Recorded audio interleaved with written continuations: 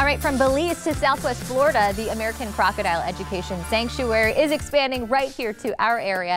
And I'm so happy to welcome Vincent Rose. He is an uh, animal expert, crocodile behaviorist. He is also founder of ACES, along with uh, Rose, uh, I'm sorry, Cherie Rose, excuse me, a published research biologist, also founder of ACES. I'm so excited to have you guys on the show this morning. Uh, we also you. have a few of our friends. If you guys didn't notice what is in their laps this morning, who do we have here? Well, this is Allie and Allie, and this we've got is, uh, Tubbs. Tubbs. I love the name. This is Casey why. has an accident. Okay. we'll talk about ACES. I know I, I, said from Belize to Southwest Florida, and that's kind of where it all began for you guys before you came over here. But mm-hmm. uh, what is your background, and how did you get into helping our wildlife?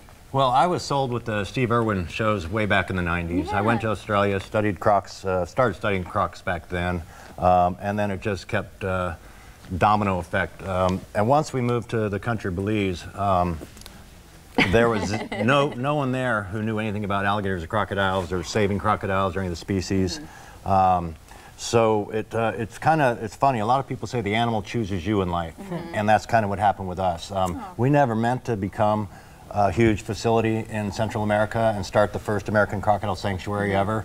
Um, but it just all found us. There was no other answer for it. Yeah. There was a lot of poaching going on, yeah. and um, all these, uh, all the crocodilians um, are protected. Uh -huh. Some are threatened, some are endangered. Yeah. Uh, so it, uh, they chose us. Yeah.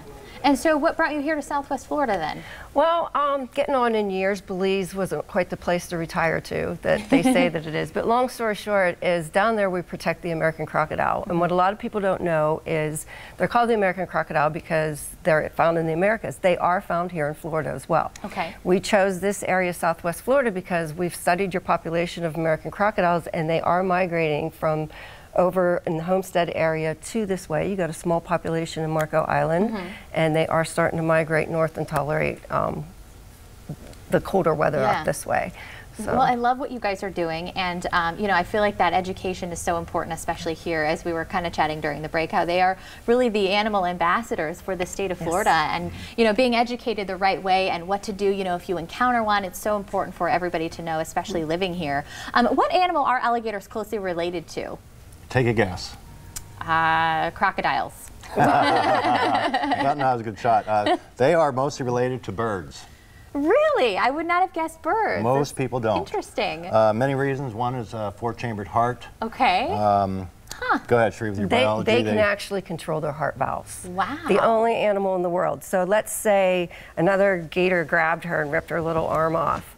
She could actually shunt her heart valve and send the blood to other away from that limb so that she won't bleed to death. Wow. Or if they stay submerged, like five hours, they're documenting what was the longest wow. now that you heard five to seven hours. Yeah, over, One over species. Every species is yeah. a little bit different. But they actually shunt their heart valve and send oxygenated blood to um, to their lungs to be able to stay under longer. They really are so smart too. And you know, it's they interesting are. you say birds because aren't are I may be wrong on this, but are birds one of their biggest predators too, especially as they're younger? Yes, yes they are. interesting. A lot of the shorebirds. Okay. And vice versa when they get bigger. Yeah, very and interesting. You mentioned intelligence. They're the only reptile in the world that has a developed cerebral cortex. Wow. So they are capable of plot, planning, memory. So are they as scary as everybody thinks that they are?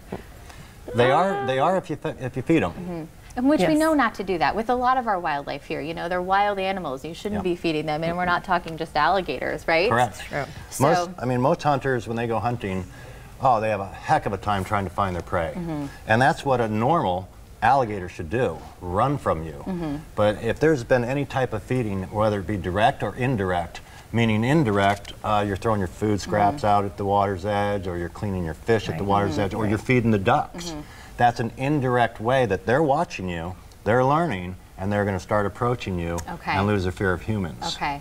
Important to know. And unfortunately, we're out of time. I have so much more that I want to talk to you about. I'm thinking we could maybe do a Facebook video about the safe uh, ways to catch a gator for everybody since we ran out of time today. And hopefully okay. we can have you guys back again soon uh, because there's so much to talk about. Uh, but great to have you both on. If someone wants to learn more about you guys, what should people do? Do you have a website they can go to? Yes, um, AmericanCrocodileSanctuary.org. Okay. Thank you both so much. Great Thank to have you on the show this morning. And if you want more, of course, head to our website, That's fox4morningblend.com. Do you have a business or organization that you'd like to see featured on the Morning Blend? Let us know. We love hearing from our Morning Blend viewers. Who do you want to see on our show? You can connect with us through our social media sites on Facebook, Twitter, and also Instagram.